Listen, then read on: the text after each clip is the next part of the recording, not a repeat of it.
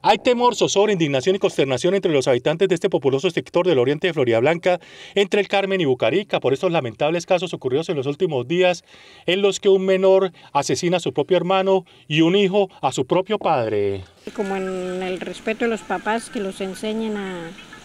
a respetar a los papás o se respeten los hermanos,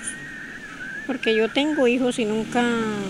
pelearon por ropa o... La inseguridad es otra de las situaciones que atemorizan a esta comunidad vulnerable de Florida Blanca, ya que son recurrentes delitos como el tráfico de estupefacientes y el hurto, entre otros fenómenos. Es que uno camina y hay muchos robos, muchos atracos, sí, muchas cosas, entonces sí, ya estamos viviendo en un país que no sabemos qué hacer porque ya caminamos inseguramente, ¿sí me entiendes? O sea, desde que tenemos la situación difícil, la canasta familiar, que a veces no hay trabajo, yo, entonces no sabe uno qué hacer con esta situación que se está presentando. Yo solamente digo, pues,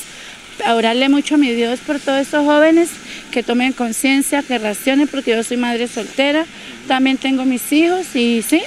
y les doy muchos ejemplos, no los dejo en la calle. Pese a los reiterados sucesos de violencia e inseguridad, las intervenciones de las autoridades brillan por su ausencia en este convulsionado y complejo sector de Florida Blanca.